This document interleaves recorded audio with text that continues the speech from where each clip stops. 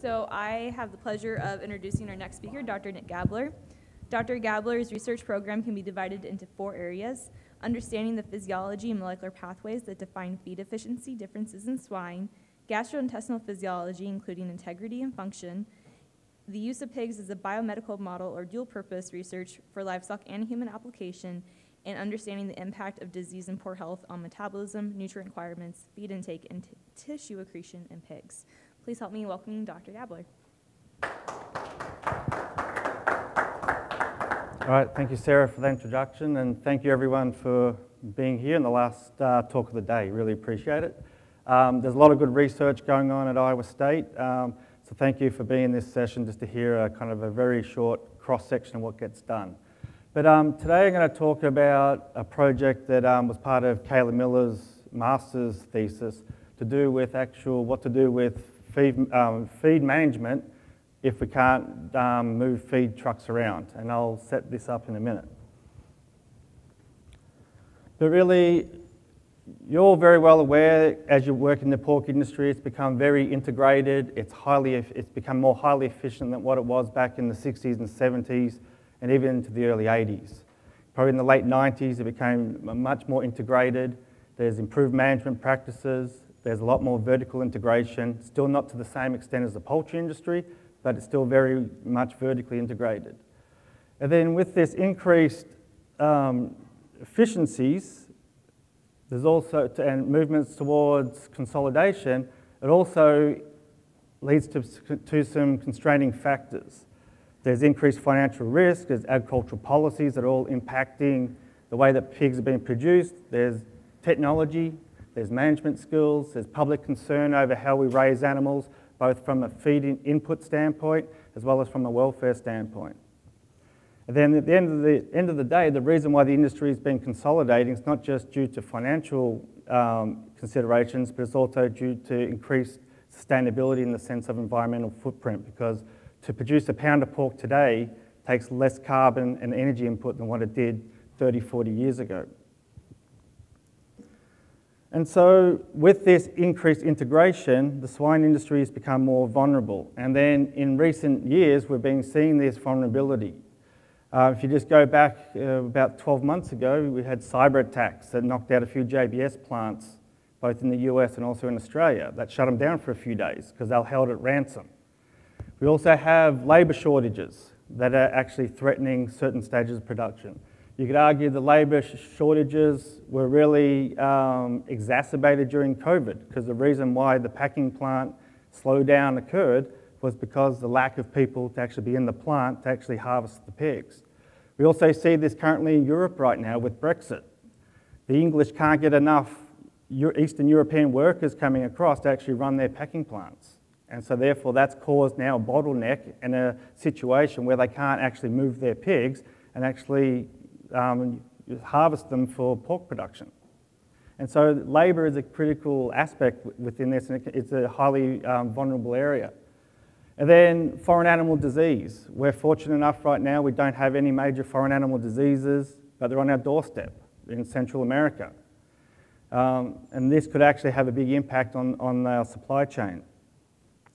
And again, look, we're all aware of this back in 2020 with COVID-19. We had a big um, impact on the capacity of our packing plants to actually slaughter pigs. So by about March, April, we saw a big decline in the capacity and also the number of pigs slaughtered. And then everyone was aware of what happened is um, really there's pigs that had to get humanely euthanized. Also, there was a whole lot of research that was done across the country just to quickly figure out how we can slow down pigs. And so really if we talk about some of that research is we, we at Iowa State were some of the first, we thought ahead and said, right, well, how can we provide the information to the industry to how we can manage these pigs if we have to slow them down. And so Emma Helm did some work both within Iowa State and also in collaboration with New Fashion Pork. And we really tried to get this information disseminated out really quickly to the industry about how we can actually better manage growth of these pigs under this situation of when we can't actually move them. And so one of the things that we looked at, and I'm not going to go into too much detail with this slide, but really We showed that using a high acidic diet of calcium chloride, we can actually slow down pig growth dramatically, virtually hold them to a standstill, both whether it's under individual pig rearing conditions or in the group pen conditions. We also showed that we're, we're one of the first groups to really propose, well, let's just do a simple essential amino acid deficiency. Let's just feed them 97% corn. Because one of the things that um, I was talking to some producers back in February of that year is, well, what if we just pull all the bean meal out and synthetic amino acids out and leave everything else in? What type of diet do we end up with? It turned out to be roughly 97% of a, of a ground corn diet. But can we use that type of diet to create a very simple, cost-effective amino acid deficiency, an essential, essential amino acid deficiency, to slow the growth rates down? And As you can see from, from this, we were able to slow pig growth down for multiple weeks. And then we also looked at using fiber, which to a less extent, feeding 15 to 20% NDF diets, they did have an impact on growth, but it wasn't as dramatic as what we probably really needed. And so the industry adopted some of this stuff instantaneously. They also worked with using temperature, increased temperature within barns to actually help maintain pig viability. In other words, they could keep pigs alive for longer till the packing plant situation resolved itself. And fortunately, it actually did. So really, that got us thinking is this whole period back in 2020 showed us that yeah, we can be pretty nimble on our feet if we don't let our egos and politics get in the way of actually waiting for money to come to actually do research. But then also, what does the industry need next, and how can we just be better prepared for what may be coming in the future? And so, just talking with Jason Ross and a couple other people at the pork Iowa Pork Industry Centre, one thing that kept coming up with was a foreign animal disease outbreak. There's a whole lot of work. There's another seminar session going on about foreign animal disease preparedness. But one of the things that struck us is, is that the state vets have the authority to stop any truck movements if they wish to in a certain geographic region if there was a foreign animal disease detected there. And so what if they pulled the trigger and said, right, in Hamilton County where I live in Iowa, what if they can't move trucks in or out to move pigs out or actually bring feed in? How do we manage what's there? And so one of the questions you know, that we want to work out is, well, what would the industry do? Are they even aware of that? Because half the people we talk to aren't aware of the fact that there could be a transport limitation ban within a certain region of this. But then what if you got pigs already on feed within that region? How do you manage them?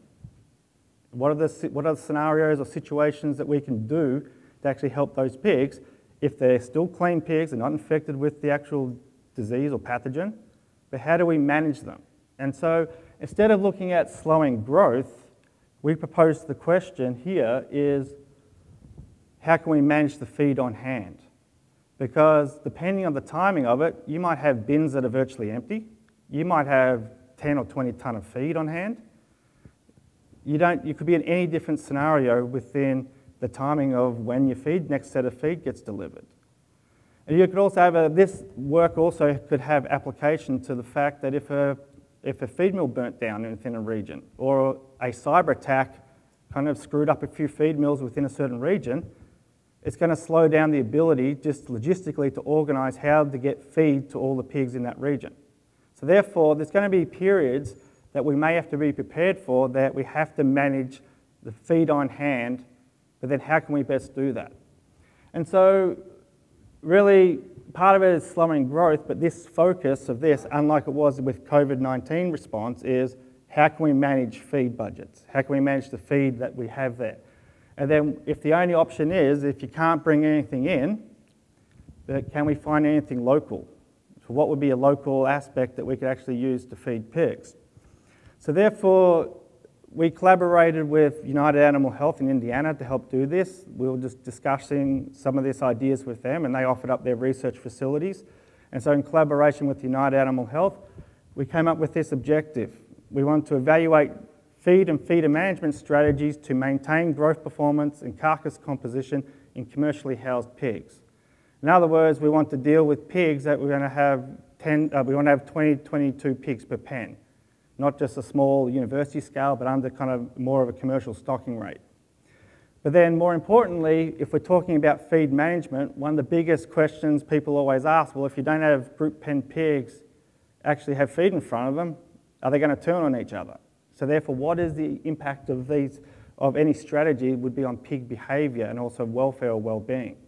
And so we kind of came up with the two-pronged approach where we wanted to say, well, how can we manage the feed, so the performance aspect, but also what is, and the carcass aspect of, of that implementation strategy, but also what does those strategies do to pig welfare and pig behaviour? Because the last thing we want is to go around the country and say, oh, we recommend strategy X, Y, or Z, but then there's increased cannibalism or other things going on that's some negative behaviours. And so our two objectives were to assess these aspects. So our general design of the project is that we had about 1,400 pigs, were DNA genetics. They started off at around 92 kilograms body weight. Though we had 12 um, pens per treatment and we had 20 to 22 to 24 pigs per pen. And so we tried to get an industry kind of relevant stocking rate and also stocking density within each pen. And this project was divided up into two periods over a three week test period. So we had period one, which was a first 14 day period, where, where we actually implemented a feed management strategy. And then we had a seven day, uh, sorry, a seven day period two, where all pigs were put back onto ad libitum or onto normal feeding conditions. Because the other thing was, is okay, well, once we can liberate the, any feeding management strategy, what's the response to that? How are they going to rebound? And really, for no rhyme or reason, Kayla Miller and myself and Jason Ross, we decided to go with 14 days in the sense that we figured logistically, the time people figure out there's a problem, the time the government gets involved, it's going to take a little bit to sort itself out. So we thought, well, let's just go for 14 days.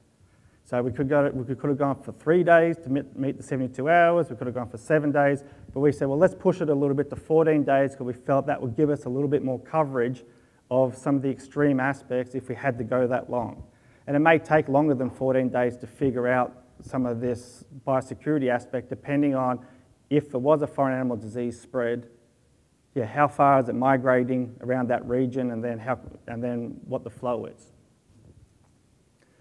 So our treatment strategies are here. We really had three different strategies, and we divided up into five different treatment groups. But the first strategy was just keep pigs on ad libitum feed, which is about 3x of maintenance. And so our second strategy was, well, can we come up with a way to actually feed pigs based on a maintenance requirement? And so we used a maintenance strategy, and I'll get to that in a minute, but we did a 1.45 times um, maintenance requirement and a 2x times maintenance requirement. So that was our kind of maintenance calculator. So I'll explain that one in a minute. The other strategy was to use just closed feeders. And I think Kansas State and other groups showed that you can shut the feeders down quite effectively to stretch feed out. And so we thought that's a practical way that you could actually stretch feed already. There is other strategies that we, that we could have looked at, like heat stress and other, um, putting calcium chloride through the water lines or, in the, um, or do some other water strategies. But we thought we'll just stick with the feed stuff right now. If the idea we couldn't bring anything else in, except we decided to also go with a whole corn kernel diet. If you drive around Iowa, you look at all the grow finish barns, normally on every, probably every five square miles, at least some farm is going to have a grain bin full of corn. And we thought, well, it's a geographic lockdown if it is going to come into place. So someone could easily go with a pickup truck, go pick up some bags of whole corn, and actually bring that to the barn to actually hold pigs. The other thing we also thought about, but we didn't get into, was actually using corn stovers or some sort of hay. But then this is a, over slats, and then we didn't want to deal with the actual pit management aspect. But that's another strategy that could have, we could have also, or we discussed, but we thought we better not go there. So really, these are our five strategies: was ad lib feeding, maintenance feeding at two different levels, close feeders, and whole corn, um, a whole corn, unground whole corn kernels. So there's no vitamins and minerals, it's literally just straight corn. So really our control ad lib treatment, as I said, it's just typically whatever the pigs want to eat, the feeders were left full, they were offered unrestricted, a diet that just met or exceeded their requirements, It's just a standard corn soy-based diet. I'll get into that in a second. Our second kind of overall strategy was maintenance feeding. And so what we did, we just used the NRC calculation of 197 times body weight to the 0.6 on the average body weight of that pen. And then from that, um, from that, then we calculated how much energy that average pig would actually need to consume to maintain its maintenance. In other words, just maintain its static body weight. Then we multiplied that literally by the amount of pigs in the pen. And then we, by knowing the energy level of the diet, we can work out how many pounds or kilograms of feed that we would have to offer that pen. And then we decided to offer it at either 1.45 or 2x. We thought we might go to 1x, but not knowing what to expect, and we, and we didn't want to have any um, animal ethics IACUC issues, we decided, well, 1.45 is probably going to give us a good low maintenance level. And so we offered the pig. So these, this here would have been, um, what, 70 pounds a day into, the, into a pen, would have been for about the 1.45 um, kilograms we offered to 22 pigs, to give you a rough idea. So in other words, probably two bags of feed a day would be equated. So we figured also using this, these type of numbers would be equivalent to either bringing sacks of feed in or someone had a couple of five gallon pails, they could literally just load them up and then just dump them. And the idea was that we could easily, I mean, we'll be doing this over the next probably six months, we'll develop a calculator that someone could easily just go calculate out how much maintenance or how much feed they need to offer a pen at any different level of maintenance. They can put in the number of pigs, the energy level of their diet, many, um, and also do they want 1x, 1.4, whatever number they want. And so it'd be an easy calculator for someone to adapt or adopt. Because the other thing is, if we, if we went with this strategy, the typical feeding system would go, let's, it fills up the first feeder, goes to the next feeder, then when that's full, goes to the next one. But then you may run out of feed by the time that feeding system went all the way through that barn. And so we wanted to try and get it across the whole barn. The other strategy is a closed feeder. You can see here the feeders were clamped down as, as tight as we could get them. Um, and that was done daily because they do move over time for the pigs just nosing at them and moving around. You can see the pans here are pretty empty. But again, this is a very easy, easy strategy to help stretch feed out. Also, I think part of the philosophy with this strategy is that pigs will have to work for it, therefore they're kind of entertained to some extent, trying to play with getting to the feed. And then our last strategy, you can see, I don't know, it might be hard to see up here, but these are the whole corn kernels in the, in the feeder here. So in other words, it wasn't a complete diet, it was just corn, straight corn kernels put in, unground, straight corn kernels. And that was offered ad libitum. So our diets, as I said, it's just a, it was a corn distillers, soybean meal based diet, nothing fancy, just a, we'll call it a traditional, typical Midwest diet. But the, the biggest thing is, is that the SID um, lysine to ME was very different just with the corn because it's an amino acid deficient diet. And it's also deficient in other things. And so, and this is a little bit different than what the 97% corn based diet that we use for slowing pig growth down because this is unprocessed whole corn, no vitamins and minerals or anything. This is just corn only. And so what we did, uh, or what Kayla did, because I was teaching class, um, what she did over in Indiana, they weighed pigs individually on day zero, all 1,400 pigs individually on day zero, and also on day 14 of the study, and again at day 21. So start of period one, the end of period one, and then the end of period two.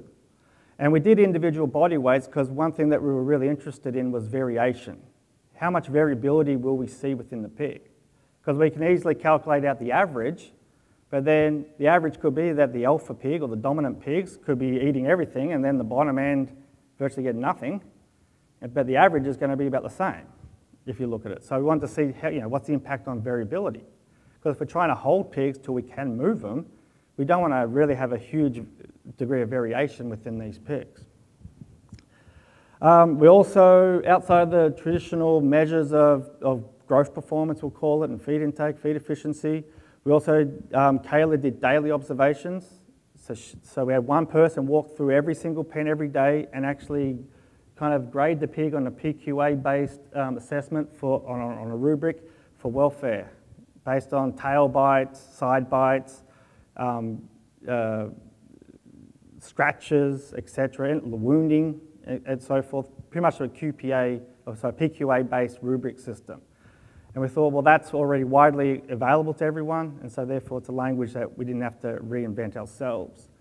And so we looked at all that, and then we just came up today, and we're only going to present the total kind of aggressions or total abrasions. And then we also looked at mortalities, removals, if, if there were any on this. And again, the, for um, behavioural assessment, tail bites with visible, visible lesions, open flesh wounds, um, sores, side bites, circular wounds were, were assessed, scratches, kind of just eyeballing length. So it was a common rubric used every day to kind of get a crude indicator of pig behaviour.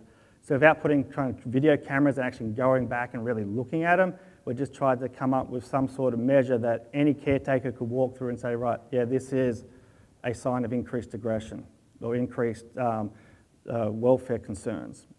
And then the severity of lesions were, were summed up, and then we expressed it as a percentage of pigs present with these lesions in the pen. And we'll get into that a little bit. Um, pen was our experimental unit for everything here.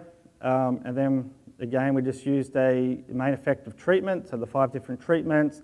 We had a random effect of rep, and then, the, as again, pen was our experimental unit. So really, the first thing that we were after, our main objective was feed intake. And so we'll present that one first. So average daily feed intake in these pigs. And this is period one, so for the first 14 days when these five strategies were used, we can see that, you know, by design, because we're feeding pigs on a maintenance requirement, we had our 1.45 times maintenance pigs had about a 56% reduction in average daily feed intake compared to the ad lib control. So the same diet, but just restrict fed. And we kind of you know, we forced this to be that level of intake. And these pigs cleaned up everything in the feeder every day. Because what feed was dropped twice a, twice a day, or once a day. Feed was dropped only once a day for these pigs. And then the 2x maintenance, there was about a 41% reduction in average daily feed intake. The closed feeders was about a 22% reduction. And that was quite similar to what people have reported during the COVID shutdown when they used closed feeders. And then the whole corn was about a 25% reduction. So one strategy that someone could employ based on this is that you could go whole corn and closed feeders. But we didn't, we didn't do that combination, and that might be an additive or could be the same one, we don't know. But that's a, that's an opportunity to actually stretch feed out over the, this two-week period. Now again, the type of strategy that you use is also going to be dependent on how much feed you have on hand so that's the calculation you're going to have to do before you pick a strategy. But on the rebound, so in period two, after these pigs kind of were put back onto ad libitum full feed, so all back onto the same corn, soy, distillers diet, we can see that there was a, a slight increase, a 7 to 8% increase in feed intake. And again, this is kind of partially into this compensatory gain aspect and maybe also just increase um, the just an increased metabolic state is allowing them just to eat more because they're trying to eat to their energy needs. And with a heavier pig, they want more energy because there's more calories to maintain, therefore by default they're going to eat more. And then overall, if we took a look at it over a 21 day kind of experimental period, we really see the same thing. There's about a 38%, but a lot of gain. All this is really driven by that period one. So these are kind of, if we're talking about manage, managing the feed and stretching feed out, all of these strategies work to some degree to actually stretch feed out that's on hand. And then it just depends on how long you have to stretch your feed out depending on which strategy you're going to use. But then looking at um, average daily gain over this first two week period where we actually implemented these five strategies, there was about a 98% reduction in, with the 1.5x. So in other words, that was pretty darn, if, if you look at maintenance requirements, that's pretty darn close to maintenance on average. But again, I think there's some pigs here that probably are overeating their maintenance requirement, and there's some pigs that are well under their maintenance requirement that, that we get to this number. So if we went for one, if we went for a, like a 1x, which is kind of true maintenance requirement, they're probably going to lose weight on a group pen situation would be my estimation on this. And then there was about a yeah, 69% reduction in average daily gain with the um, 2x maintenance and then also with the whole corn. And the whole corn or the yellow bar here is really just the amino acid deficiency. So we're limiting essential amino acids is probably the main, and is the main driving factor because energy levels are about the same. It's the amino acid aspect. Again, like we saw with our COVID-19 response data, there was a significant rebound with regard to growth performance in the week after we liberated that restriction. And again, I'm still debating to myself whether this increase in average daily gain, how much of it is actually gut fill, how much of it is actually increased water retention within the carcass. There's lots of factors because I don't think it's all just lean tissue. But then there's studies really need to kind of look at what that gain is and how truly compensatory it is over a longer period of time. This is only one week prior to they went prior to these pigs getting marketed. But there was about a 56% increase, about a, anywhere from a 30 to 46% increase in average daily gain as we responded. But as you notice that the response in growth rates is higher the more severe they were, were restricted in that first period. So that would indicate to me there's some increased efficiency, metabolic efficiencies going on, but also I think a lot of it's just gut fill capacity is just really increased, and that's what we're seeing with this average daily gain. And then again, overall, we resulted anywhere from a, almost a 50% reduction in average daily gain over the 21-day test period, down to about a 14% with the closed feeders. If we go to feed efficiency, looking at, um, looking at this, as expected in period one, our feed efficiency is bad with any of these strategies because, again, we're trying to hold feed here. We're not, we're not really caring about the efficiency of gain. We just want to, can we stretch feed over? And then either of these strategies isn't good. But then in period two, what we see is actually an uh, a increase in feed efficiency. And I, and I, believe from a lot of the um, residual feed intake work we did 10 years ago, a lot of this is that these pigs over two weeks have lowered their metabolic set point. Therefore, there's a lower maintenance, a lower kind of energy requirement to maintain their bodily functions. And then there's a metabolic efficiency that's been gained, and that's what we're seeing here. And that's what helped translates to the increase in, in growth performance. But if you look at just kind of flat out body weights, all these pigs, as we said, start off around 92 kilograms. Over 14 days of restriction, the control pigs got up to about 107 kilograms. Our 1.4x pigs were really just maintained, like a truly at no gain at all overall. And then at 2x, there was about a, um, about a five kilogram gain over that 14 day period. And then with the corn, it was actually it was only about a, um, a, six, a six kilogram gain over the period. But really, what we we're interested in is what was the variability? And so Kayla looked at the standard deviations within each group. And then probably the better way to look at it is looking at the percentage of change of standard deviation of the body weight. So that's really the take home message is the more severe we restricted the pigs, we increased the variability of the body weights. And that makes total sense, especially with the strategy that we, the strategies that we employed. So one thing that we do have to watch out for is that if you do implement any of these strategies, you are going to get increased variability because you've got some pigs that are probably going to be eating a lot more, some pigs going to be eating a lot less, and this whole hierarchical social structure, it, it really explains probably this variability, and that's where the, the welfare behaviorists can get in there and kind of figure this out. But on the um, carcass composition, overall, the whole corn diet decreased lean percentage and loin depth, the restrict feed treatments reduced um, fat and loin depth as expected. And then on the closed feeders was going to be was similar to the control with regard to some of the plant carcass data that was collected at Logansport at, at Tyson's. Here. So one of the questions that we we always, or one of the original objectives or questions was what was the impact on the behaviour? And um, we're not going to call it behavioural vices, whatever. We always get in trouble if we mention behavioural vices. But really, what is going on with regard to aggression? And just for simplicity terms, I'm only going to show um, Kayla's data here that really just looked at total abrasions because there was some slight differences with with head, um, with, with head and, and tail biting and ear biting and side scratches and so forth. But really what you can see here is, is that the more severe the restriction is, the percentage of pigs within that pen had more total abrasions, which is a crude indicator of increased aggression. And that increased aggression could simply have been competition for the feeder space.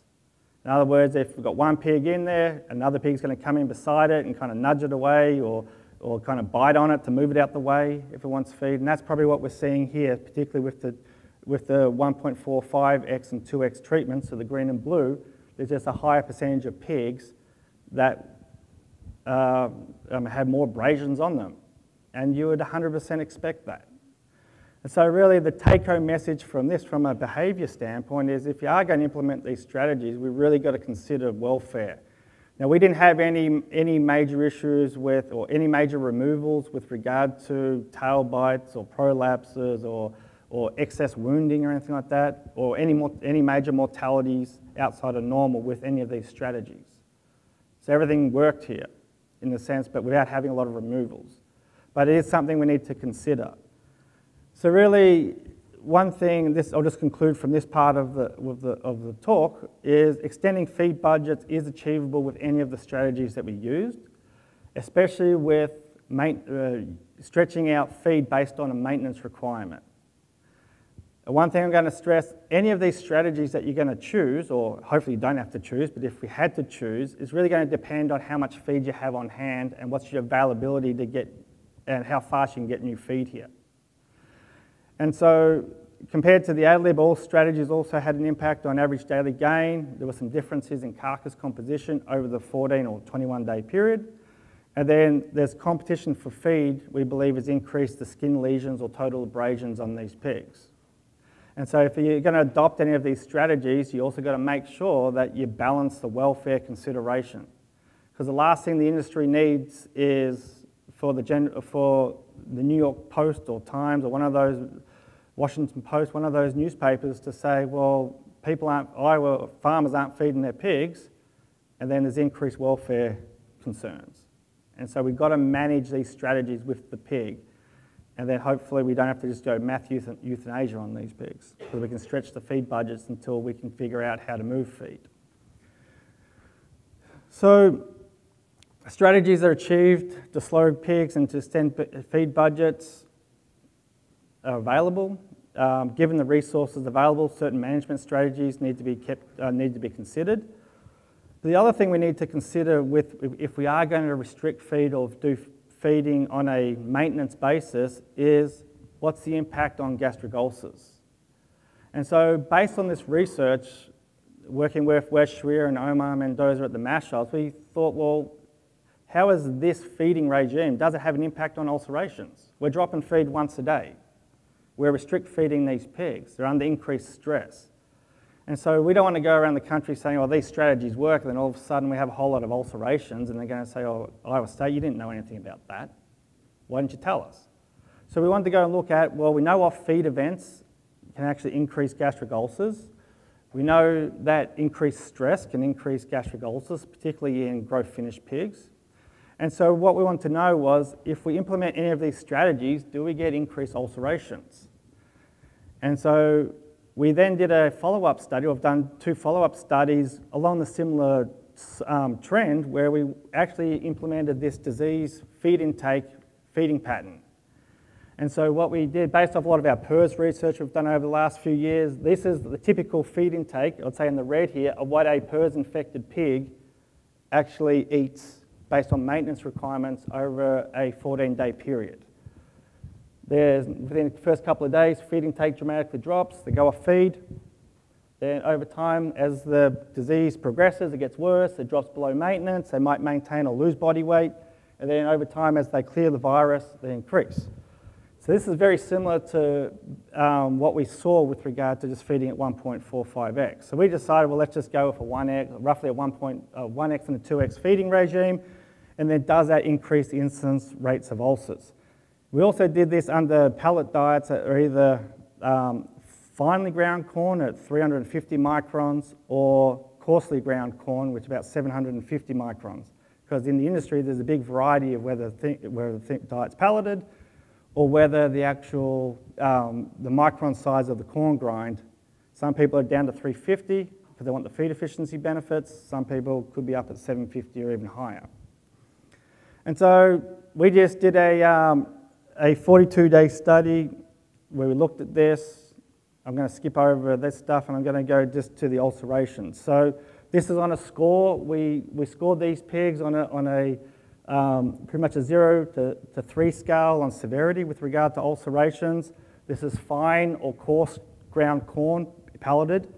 And you can see here, here's some pictures of our pigs. This was a three here. You can see this nice ulcer, typical ulcer around the pars esophageal region in these pigs after, after 14 days on this restrict feeding protocol. Where up the top here is a relatively normal pig. Sorry, where are we? Up here is a relatively normal pig. And so just restrict feeding, whether it's even at 2x or 1x, we're increasing the risk of ulcerations irrespective of particle size in these pigs when we look at just gross examination in the pars esophageal. If you look at hyperkeratinosis, another indicator of kind of gastric stress, we can see that there's more um, keratin being deposited around the pars esophageal region here, less up here in these pigs, and again, as the feed restriction increases, we see an increased risk of hyperkeratinosis. The other thing that we looked at was just the body of the pig, um, of the stomach, I should say. And one thing that's often underreported is what's happening to the stomach body with regard to um, ulcerations. And here you can see is that there's no difference in the score, but the score's all up. They're all scoring at least one or higher with regard to ulcerations of the stomach lining. And so it's harder to see up here, but you can see this red splotchiness here. You see a nice kind of localized lesion here within the body. Here's a little bit more spread out. But what we seem to, seem to see with these normal pigs, irrespective of feeding, is that we do have an, a higher degree of just kind of ulcerations in the body of the stomach that we can grossly see. Now, we don't know how normal this actually is. I think this is relatively normal for the industry, but then what significance does this have actually on pig health and also on gastric function? And so, really, just to, really just to finish up here, due to time, the point with the ulceration stuff is that we have mild to moderate ulcerations that we see if we do feed pigs close to maintenance or 2x maintenance, irrespective of whether on a fine or coarse feed. So if we do implement a strategy where we are actually restrict feeding, feeding pigs on a maintenance requirement, there is a potential to increase the risk of ulcerations in these pigs. And so a lot of the times is that these ulcerations are also not just exclusive to the pars esophageal region. We see them in the body. Actually, we see more body ulcerations than what we do in just in the traditional pars region. And so monitoring feed intake is going to be critical, but also feed restriction does increase the risk. And on a side note, this could have implications for actually how we feed gestating sows because if you think we're just dropping limited or limit feeding gestating sows, dropping feed once a day or maybe twice a day, are we increasing the risk of ulcerations in those pigs? So really, finish up overall, either of these, these strategies can limit feed intake with varying degrees of success in this size pig. So these are market weight pigs, up around 220 pounds. We can have an impact on growth rates. More importantly, we can stretch feed budgets out. We are having an impact on aggression the more restricted we feed these pigs. And then also there is some gastric physiology considerations that we have to do. And so with that, um, I'd like to thank Eric Burrough at the vet school for helping us do a lot of the diagnostics work, at least on looking at the microscopic lesions, which we didn't get into. Uh, Wes Schweer here from Zinpro, and also Caleb Mendoza for, uh, sorry, um, um, Caleb Shull and, and Omar Mendoza at the Maschhoffs for helping with some of the diet aspects of this and then my lab group for helping Kayla and I actually implement all of this work. And with that, I'd be happy to take any questions. Okay, we have time for one quick question. I'm just going to go here because she's closer. Sorry.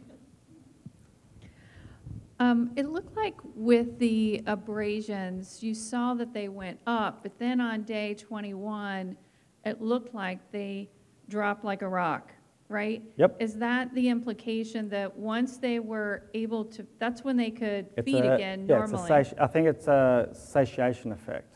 And so, yeah, once they're back on full feed, they didn't They're happy again. They're happy again. Not unlike humans, I And I think, suppose, right? Taylor, you can speak to how fast that really occurred, but it was pretty quick. So those, uh, those types of, it wasn't a learned thing in any way, any rate, any way, shape, or form. They didn't continue any of those kind of aggressive behaviors once they'd done them. They, once they were fed, they seemed to be pretty happy pigs, it sounds like. Yeah. So our interpretation of the data is it's purely to do with competition at the feeder, Okay. would be the, probably the better way to explain it. Okay, so it is 4:30, and I want to just do a few housekeeping items. That there is going to be barbecue and beer outside where we had lunch. That's going to be hosted by AB Vista, Tech Mix, and Lynch. So I am going to end the session there. But if you have questions for Dr. Gabler, would you mind sticking around for a few Yeah. minutes to answer those? So let's give Dr. Gabler another round of applause.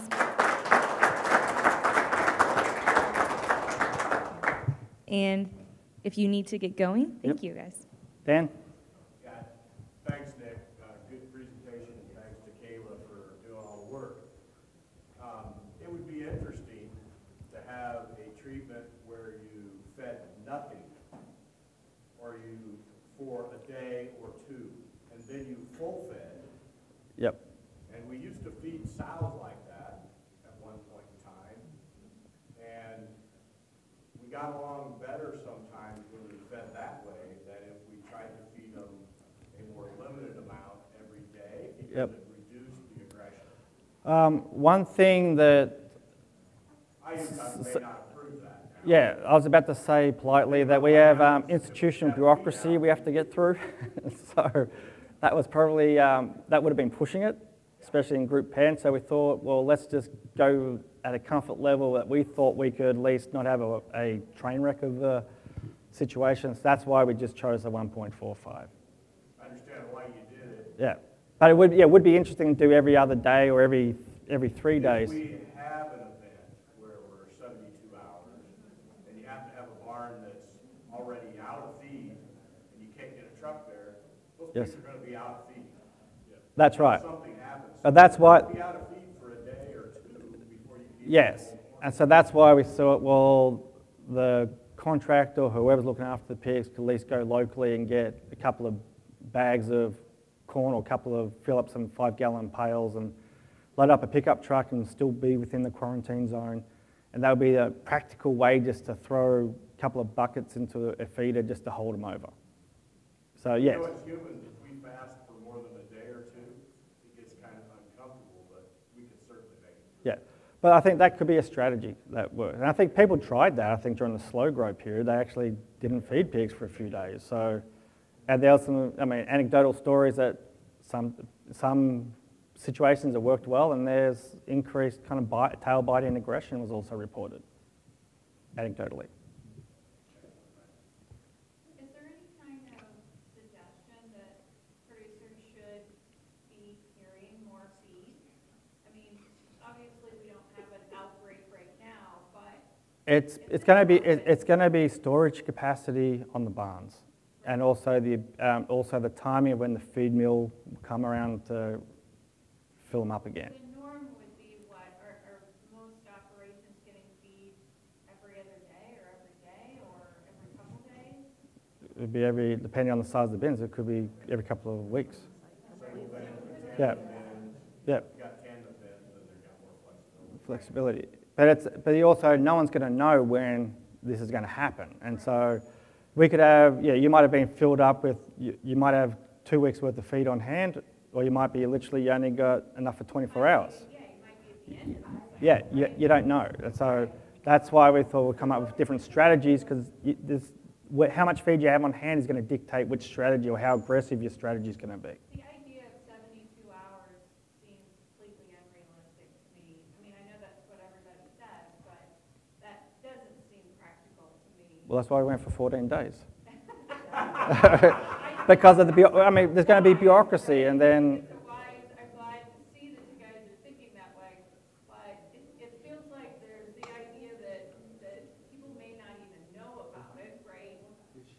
Yes. And then when they do hear about it, they hear the idea of seventy-two hours, which doesn't really seem realistic Yeah. either.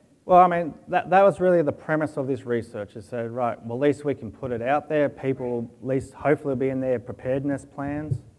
And then there are some strategies rather than, oh crap, I got the problem, now what do we do? Yeah, like a lot of us did during COVID 19. So, with that aspect. So, we're, hopefully we'll at least put some information out there and here's some potential strategies, but also there's some limitations or considerations that we need to, we need to balance up here, which is welfare.